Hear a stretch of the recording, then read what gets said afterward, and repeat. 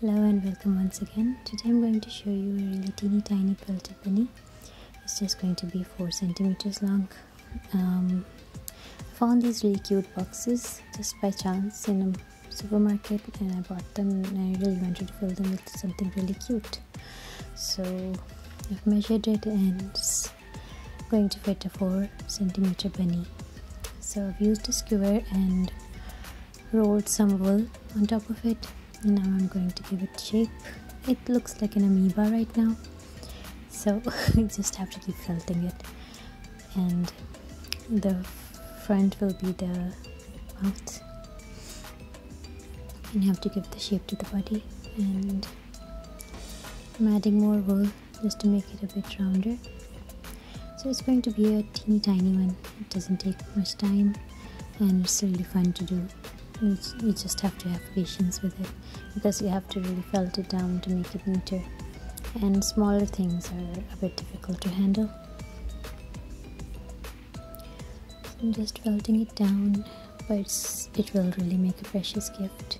And I enjoy doing it so I made three of them. So these are going to be the thighs. I'm just folding some wool over and felting it and I'm going to attach it as the thighs of the rabbit.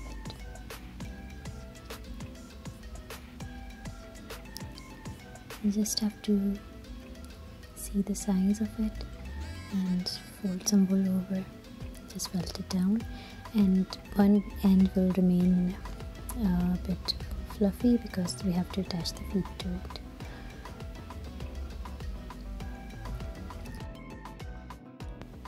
I'm just shaping the thighs as I go along and uh, I'm to give you a round shape.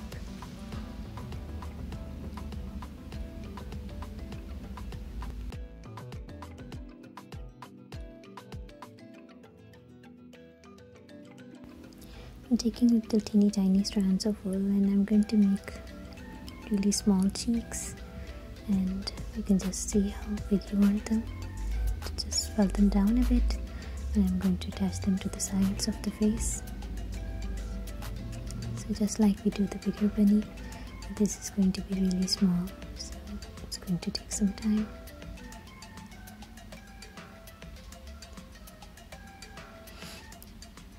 And after the cheeks are done I've got one on top of the head and I've felted it down from where the nose starts so it goes around the head make it the shape and then you will see where the eyes will go. I'm attaching more wool to the whole body so it's a bit more rounded. And as you go to the bottom you can just uh, shape the little teeny tiny tail as well. You can see the thighs are made and now we have to attach the limbs in the them the so for the limbs I'm using the skewer again because it's easier to make little teeny tiny things with it. And this is a miniature so it's easier this way. Just roll a little strand of wool and you get a round shape and then you can just felt it down and these will be the hands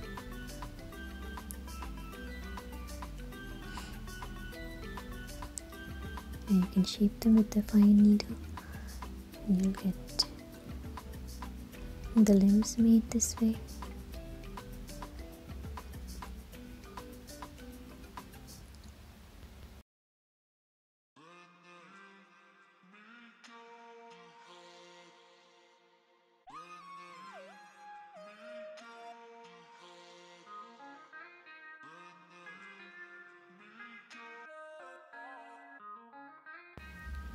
so I've just shaped them and uh, you can use your hand to roll them in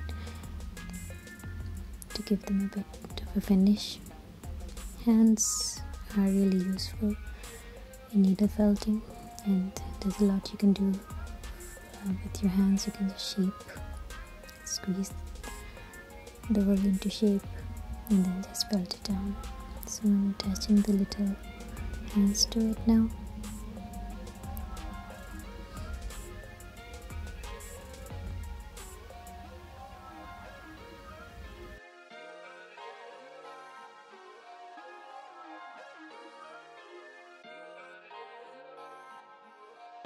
now we have to make the feet. So just the same way as the hands are done I'm going to roll them on a skewer and they're going to be a bit bigger than the hands. So just going to roll them out. You see how big I want them to be.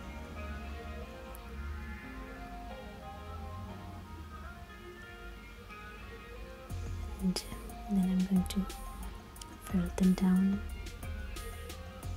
get them into shape.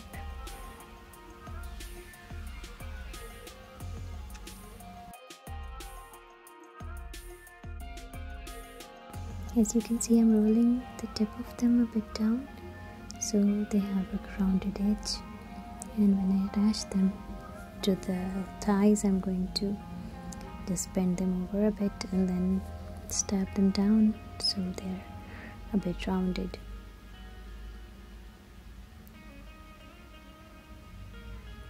the fluffy sides really help to get the limbs on and attaching different parts.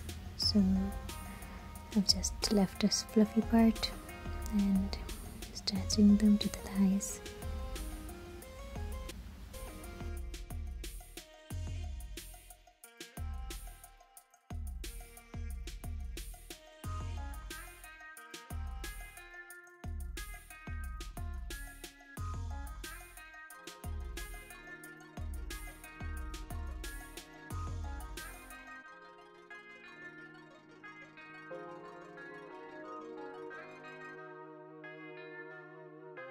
now I'm going to make um, two ears and taking little pieces of wool and I'm folding it over to get two similar sizes. And I'm going to shape the ears.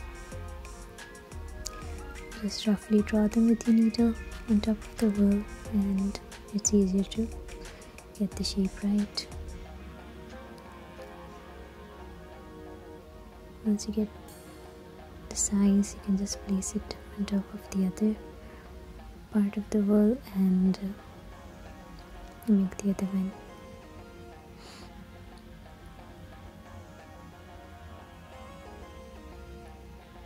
Just fold them down and stab them you get your ears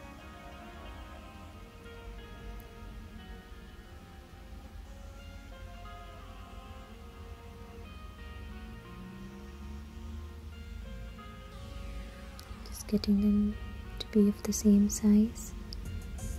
And make them neater with the finest needle I've got. And for this bunny I'm using um, merino top. That's of um, eggshell I think.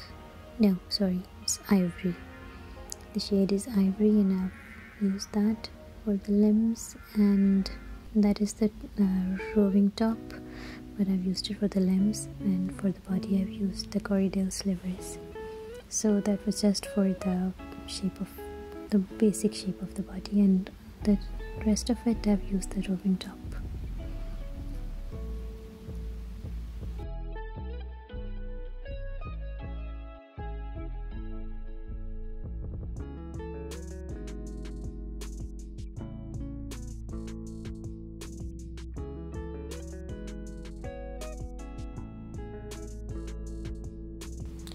I'm attaching the ears and you can see that there's a lot of fluff.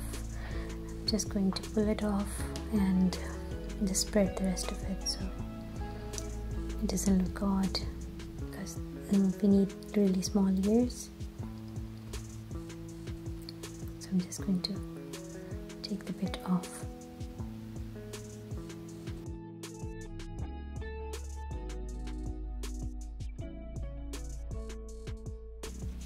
you can see I'm spreading the rest of the fluff along the body so it will just become a little fatter but the joining won't show.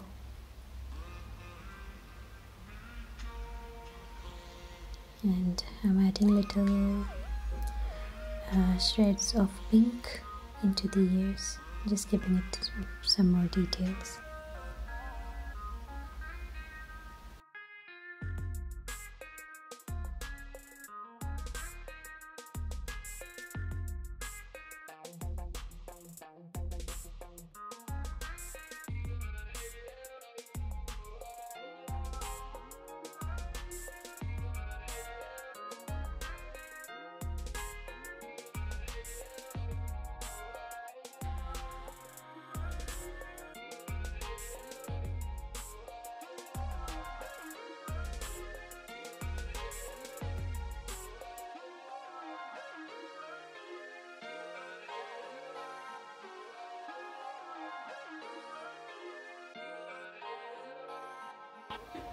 with the ears done I'm taking little shred of white wool and just folding it in a circle and I'm going to fold it down.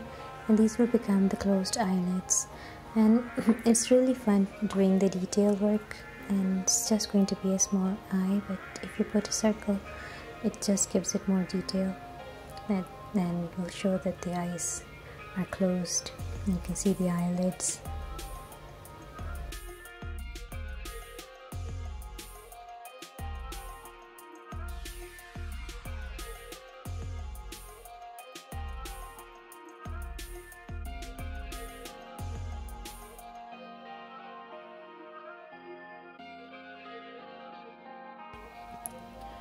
Now I'm taking very little shreds of brown wool and I'm going to make a line that's uh, of the eyes. So it's a very small piece of wool and I've just twisted it in my fingers, between my fingers and I'm just putting it in and making a line.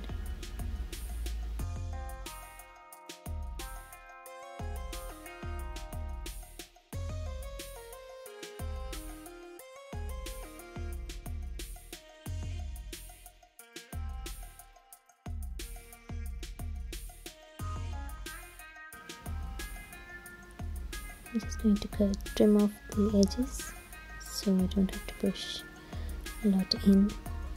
And it's really delicate work so can't avoid cutting them and giving shape to the nose just a little shred of light brown wool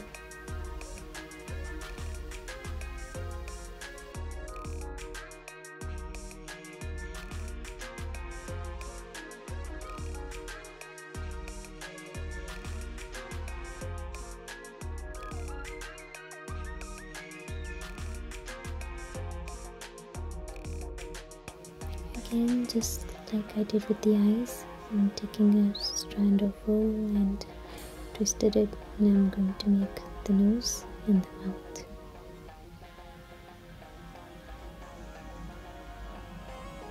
And this is done with the my size 42 needle. And it's going to be a bit fiddly but because it's really small we just have to really get into it and enjoy the process